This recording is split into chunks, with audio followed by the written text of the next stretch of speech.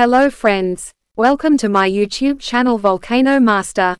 Today we gonna discuss a book name Think and Grow Rich, Chapter 14. But before that please subscribe the channel and click the bell icon. Chapter 14. The Sixth Sense. The Door to the Temple of Wisdom. The thirteenth step toward riches. The thirteenth principle is known as the sixth sense, through which infinite intelligence may, and will communicate voluntarily, without any effort from, or demands by, the individual. This principle is the apex of the philosophy. It can be assimilated, understood, and applied only by first mastering the other twelve principles. The sixth sense is that portion of the subconscious mind which has been referred to as the creative imagination. It has also been referred to as the receiving set, through which ideas, plans, and thoughts flash into the mind. The flashes are sometimes called hunches or inspirations. The sixth sense defies description. It cannot be described to a person who has not mastered the other principles of this philosophy, because such a person has no knowledge and no experience with which the sixth sense may be compared. Understanding of the sixth sense comes only by meditation through mind development from within. The sixth sense probably is the medium of contact between the finite mind of man and infinite intelligence, and for this reason, it is a mixture of both the mental and the spiritual. It is believed to be the point at which the mind of man contacts the universal mind. After you have mastered the principles described in this book, you will be prepared to accept as truth a statement which may, otherwise, be incredible to you, namely, through the aid of the sixth sense, you will be warned of impending dangers in time to avoid them, and notified of opportunities in time to embrace them. There comes to your aid, and to do your bidding, with the development of the sixth sense, a guardian angel, who will open to you at all times the door to the temple of wisdom. Whether or not this is a statement of truth, you will never know, except by following the instructions described in the pages of this book, or some similar method of procedure. The author is not a believer in, nor an advocate of, miracles, for the reason that he has enough knowledge of nature to understand that nature never deviates from her established laws. Some of her laws are so incomprehensible that they produce what appear to be miracles. The sixth sense comes as near to being a miracle as anything I have ever experienced, and it appears so, only because I do not understand the method by which this principle is operated. This much the author does know, that there is a power, or a first cause, or an intelligence, which permeates every atom of matter, and embraces every unit of energy perceptible to man, that this infinite intelligence converts acorns into oak trees, causes water to flow downhill in response to the law of gravity, follows night with day, and winter with summer, each maintaining its proper place and relationship to the other. This intelligence may, through the principles of this philosophy, be induced to aid in transmuting desires into concrete, or material form. The author has this knowledge, because he has experimented with it, and has experienced it. Step by step, through the preceding chapters, you have been led to this, the last principle. If you have mastered each of the preceding principles, you are now prepared to accept, without being skeptical, the stupendous claims made here. If you have not mastered the other principles, you must do so before you may determine, definitely, whether or not the claims made in this chapter are fact or fiction. While I was passing through the age of hero worship, I found myself trying to imitate those whom I most admired. Moreover, I discovered that the element of faith, with which I endeavored to imitate my idols, gave me great capacity to do so quite successfully. I have never entirely divested myself of this habit of hero worship, although I have passed the age commonly given over to such. My experience has taught me that the next best thing to being truly great, is to emulate the great, by feeling and action, as nearly as possible. Long before I had ever written a line for publication, or endeavored to deliver a speech in public, I followed the habit of reshaping my own character, by trying to imitate the nine men whose lives and lifeworks had been most impressive to me. These nine men were Emerson, Paine, Edison, Darwin, Lincoln, Burbank, Napoleon, Ford, and Carnegie. Every night, over a long period of years, I held an imaginary council meeting with this group whom I called my invisible counselors. The procedure was this. Just before going to sleep at night, I would shut my eyes, and see, in my imagination, this group of men seated with me around my council table. Here I had not only an opportunity to sit among those whom I considered to be great, but I actually dominated the group, by serving as the chairman. I had a very definite purpose in indulging my imagination through these nightly meetings. My purpose was to rebuild my own character so it would represent a composite of the characters of my imaginary counselors. Realizing, as I did, early in life, that I had to overcome the handicap of birth in an environment of ignorance and superstition, I deliberately assigned myself the task of voluntary rebirth through the method here described. Building character through a. Being an earnest student of psychology, I knew, of course, that all men have become what they are, because of their dominating thoughts and desires. I knew that every deeply seated desire has the effect of causing one to seek outward expression through which that desire may be transmuted into reality. I knew that self-suggestion is a powerful factor in building character, that it is, in fact, the sole principle through which character is builded. With this knowledge of the principles of mind operation, I was fairly well armed with the equipment needed in rebuilding my character. In these imaginary council meetings I called on my cabinet members for the knowledge I wished each to contribute, addressing myself to each member in audible words, as follows. Mr. Emerson, I desire to acquire from you the marvelous understanding of nature which distinguished your life. I ask that you make an impress upon my subconscious mind, of whatever qualities you possessed, which enabled you to understand and adapt yourself to the laws of nature. I ask that you assist me in reaching and drawing upon whatever sources of knowledge are available to this end. Mr. Burbank, I request that you pass on to me the knowledge which enabled you to so harmonize the laws of nature that you caused the cactus to shed its thorns and become an edible food. Give me access to the knowledge which enabled you to make two blades of grass grow where but one grew before, and helped you to blend the coloring of the flowers with more splendor and harmony, for you, alone, have successfully gilded the lily. Napoleon, I desire to acquire from you, by emulation, the marvelous ability you possessed to inspire men, and to arouse them to greater and more determined spirit of action also to acquire the spirit of enduring faith, which enabled you to turn defeat into victory, and to surmount staggering obstacles. Emperor of Fate, King of Chance, Man of Destiny, I salute your, Mr. Paine, I desire to acquire from you the freedom of thought and the courage and clarity with which to express convictions, which so distinguished you. Mr. Darwin, I wish to acquire from you the marvelous patience, and ability to study cause and effect, without bias or prejudice, so exemplified by you in the field of natural science.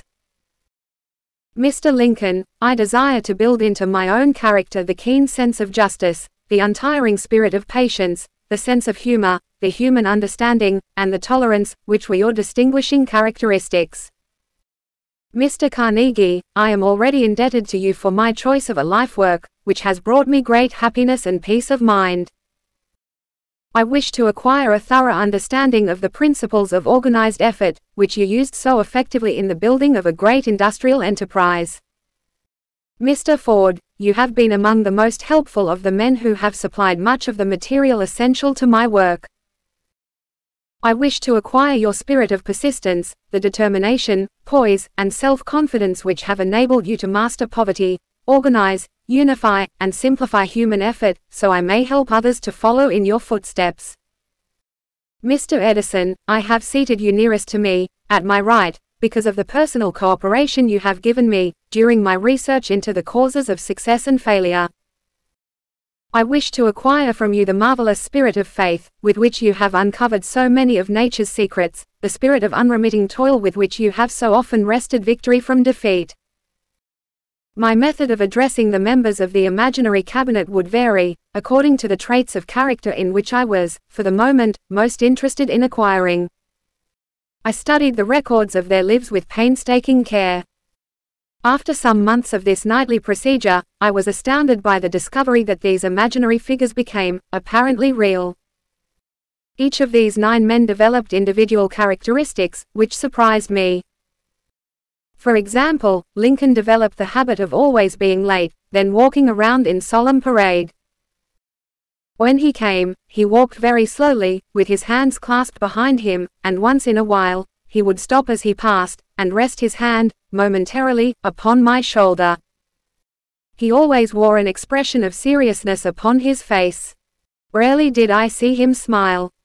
The cares of a sundered nation made him grave. That was not true of the others. Burbank and Paine often indulged in witty repartee which seemed, at times, to shock the other members of the cabinet. One night Paine suggested that I prepare a lecture on the age of reason, and deliver it from the pulpit of a church which I formerly attended. Many around the table laughed heartily at the suggestion. Not Napoleon. He drew his mouth down at the corners and groaned so loudly that all turned and looked at him with amazement. To him the church was but a pawn of the state, not to be reformed, but to be used, as a convenient inciter to mass activity by the people. On one occasion Burbank was late. When he came, he was excited with enthusiasm, and explained that he had been late, because of an experiment he was making, through which he hoped to be able to grow apples on any sort of tree. Paine chided him by reminding him that it was an apple which started all the trouble between man and woman. Darwin chuckled heartily as he suggested that Paine should watch out for little serpents, when he went into the forest to gather apples, as they had the habit of growing into big snakes. Emerson observed, no serpents, no apples, and Napoleon remarked, no apples, no state. Lincoln developed the habit of always being the last one to leave the table after each meeting. On one occasion, he leaned across the end of the table, his arms folded, and remained in that position for many minutes. I made no attempt to disturb him. Finally, he lifted his head slowly, got up and walked to the door, then turned around, came back, and laid his hand on my shoulder and said, My boy, you will need much courage if you remain steadfast in carrying out your purpose in life. But remember, when difficulties overtake you, the common people have common sense. Adversity will develop it. One evening Edison arrived ahead of all the others. He walked over and seated himself at my left, where Emerson was accustomed to sit, and said, You are destined to witness the discovery of the secret of life. When the time comes, you will observe that life consists of great swarms of energy, or entities, each as intelligent as human beings think themselves to be. These units of life group together like hives of bees, and remain together until they disintegrate, through lack of harmony.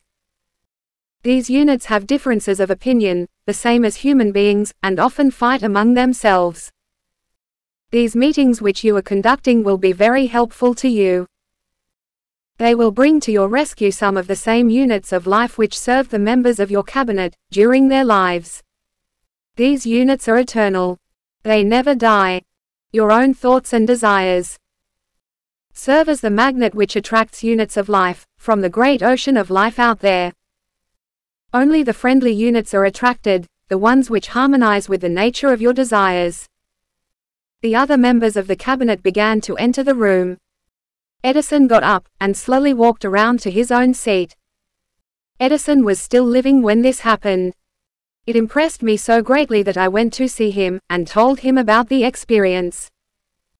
He smiled broadly, and said, Your dream was more a reality than you may imagine it to have been. He added no further explanation to his statement. These meetings became so realistic that I became fearful of their consequences, and discontinued them for several months. The experiences were so uncanny, I was afraid if I continued them I would lose sight of the fact that the meetings were purely experiences of my imagination. Some six months after I had discontinued the practice I was awakened one night, or thought I was, when I saw Lincoln standing at my bedside. He said, The world will soon need your services. It is about to undergo a period of chaos which will cause men and women to lose faith, and become panic stricken. Go ahead with your work and complete your philosophy. That is your mission in life. If you neglect it, for any cause whatsoever, you will be reduced to a primal state, and be compelled to retrace the cycles through which you have passed during thousands of years.